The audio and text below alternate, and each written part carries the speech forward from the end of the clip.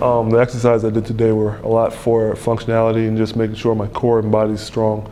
A lot of the exercises I do, you know, whether that's you know stability ball, is just to make sure everything's in tune, everything's firing, to make sure I'm able to get that you know get that power that I you know so I'm out there on the court, and um, it translates. So we're keeping our volume pretty low with our strength work, but we're still emphasizing as heavy as we can go, um, that is on this particular day. It's not what we're doing every day, but for this day it was a total body strength day. Oh, three position RDL is, is part of our warm up group that you saw, and that was just emphasizing mobility. We're trying to get the glute to fire, the hamstring is working, and we're working all three planes of motion by the different angles that we we're touching at.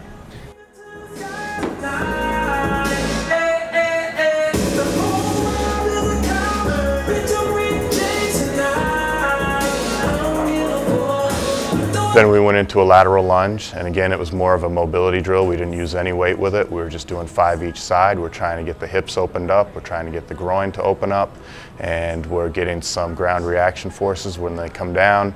Then they have to explode back and then go to the other side. So it was really kind of more of just a warm-up activity for us.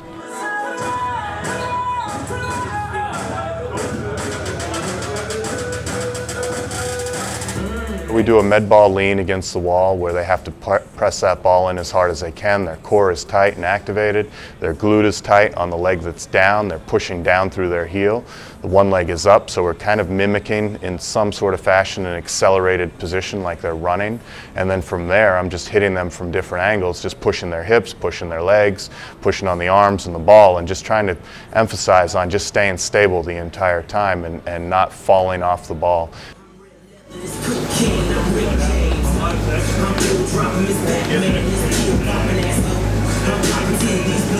Switch.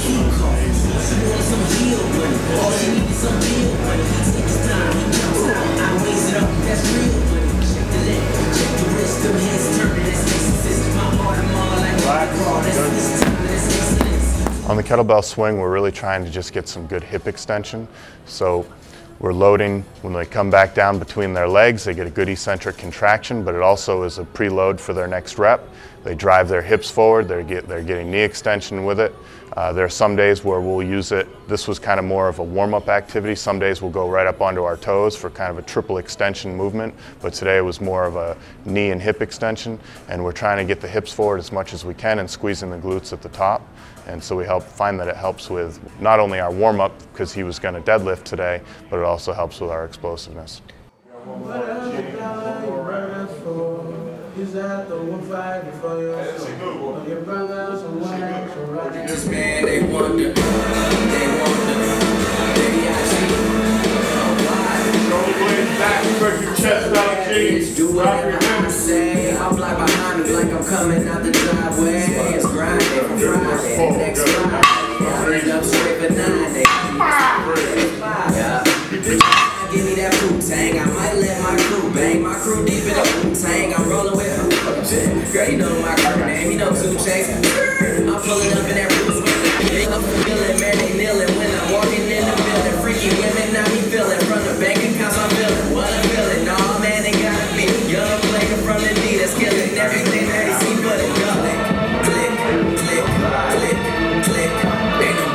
fresher than the motherfucker.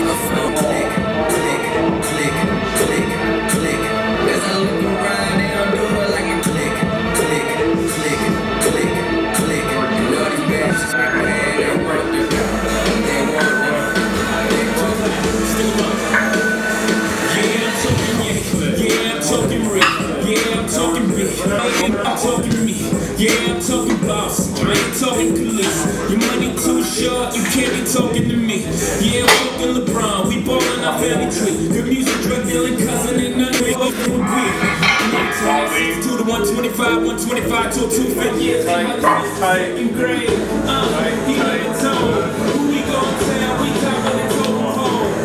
Dream team. This is a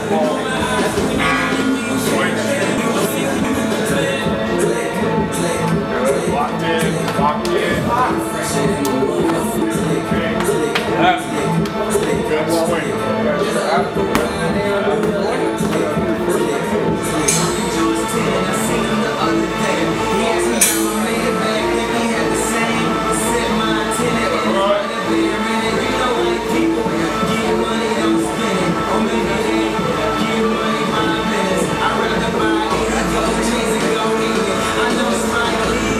today, it was our big uh, lower body strength builder. We were doing the trap bar deadlift. Found the trap bar with a neutral grip is a little bit more comfortable with guys with really long arms. We have a custom made one that can accept our big guys because a traditional trap bar is pretty narrow and Roy really likes that wide. It, I mean, it fits him perfectly. And we're just emphasizing loading it up. Like I said, it was a strength day, so we're trying to keep the reps low. We were down at three reps today and, and moving as heavy weight as we could while keeping good body position, trying to teach the guys how to strain and, and to get their nervous system going and get a guy stronger.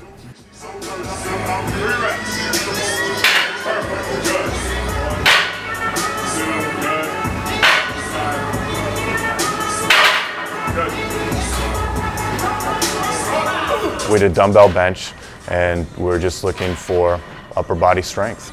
We did four sets of five on the dumbbell bench press today and where the emphasis is just upper body strength and being able to push and on the low post you certainly have to have some upper body strength. It's not the cornerstone of our program. We're not huge bench pressers, but you also have to be strong in being able to hold your position on the block when you're playing defense.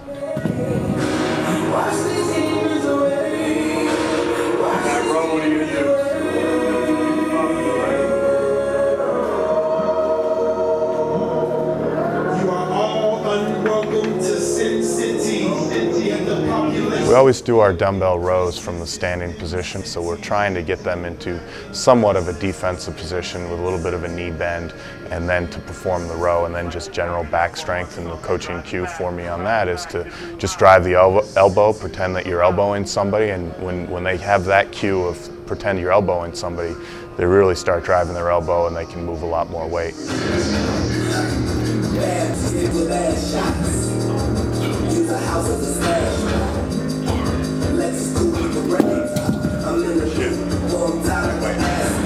We did the ab rollouts. Um, we're looking for just preventing thoracic or lumbar extension. So we're looking for just a nice tight core. Their upper butt, their arms roll out over their heads, keeping everything tight without letting the hips drop, without letting the lumbar spine sag, and just pull it back in.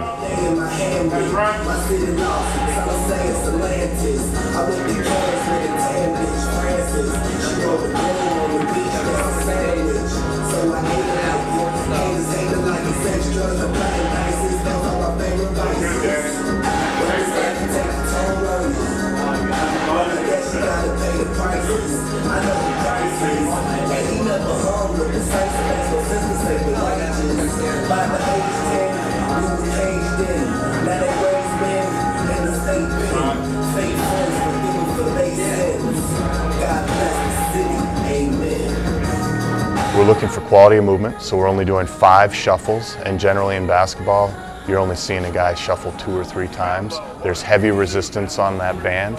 I'm looking for the guy to almost just jump away from me. We're, we're working on just that frontal plane movement and, and overloading that slide. One, two, three, four, five.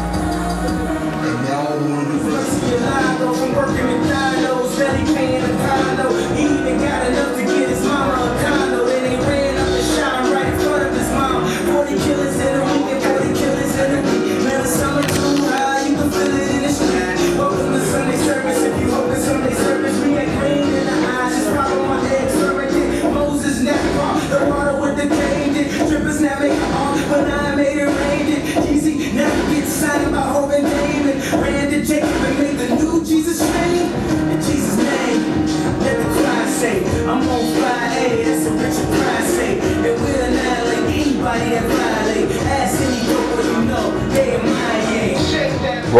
really good day today. He was feeling pretty good, so the, the weights jumped pretty quickly on him. You know, we started with uh, 245s on each side of the bar. It's a 90 pound bar.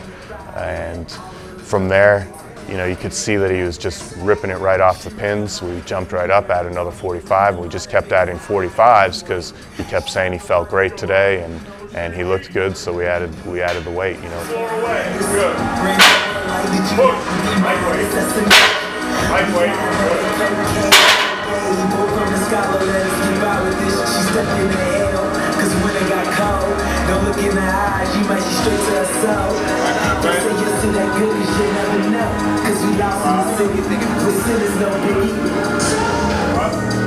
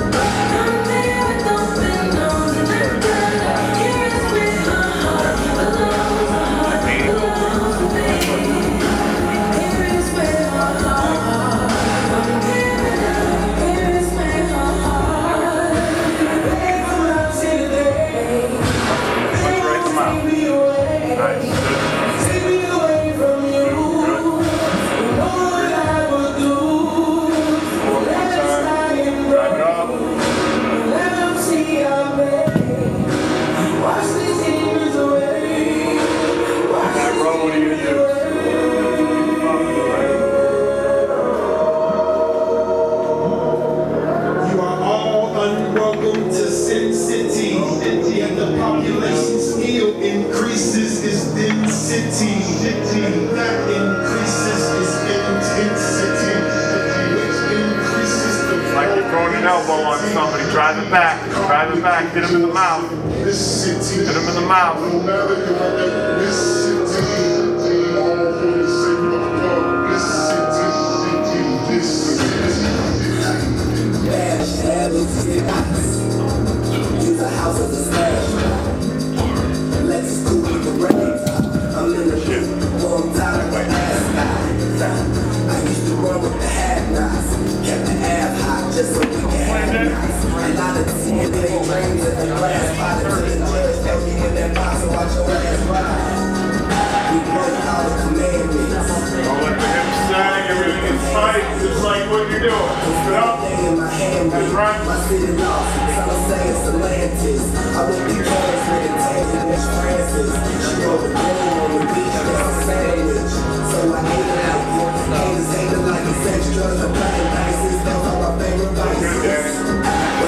Take the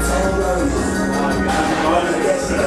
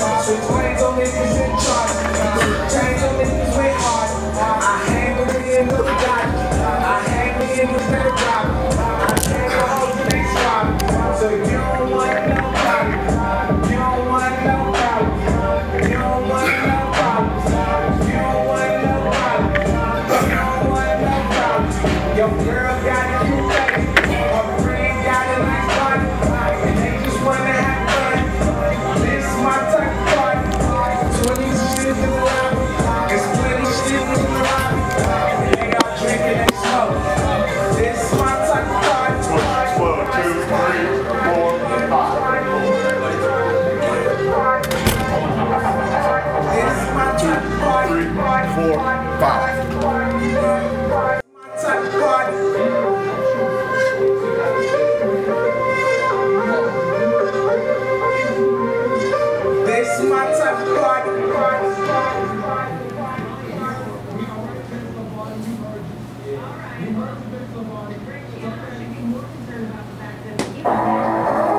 See out the way. Waiting on that time. Feel yours. All right, jump. Push the floor away. Fake jump.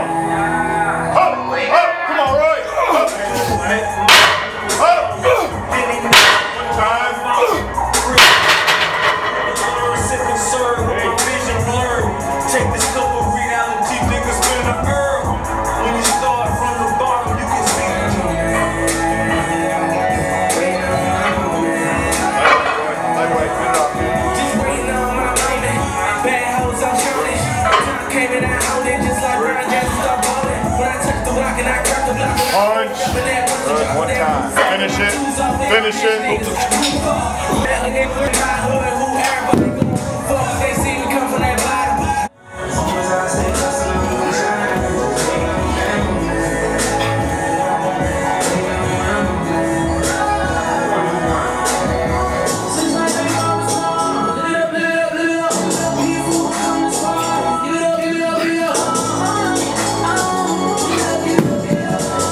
culmination of all that work over the course of the offseason, during the course of the season, that we're trying to make him successful for those situations in the playoffs where we really need him. And, and he still is at pretty close to full strength.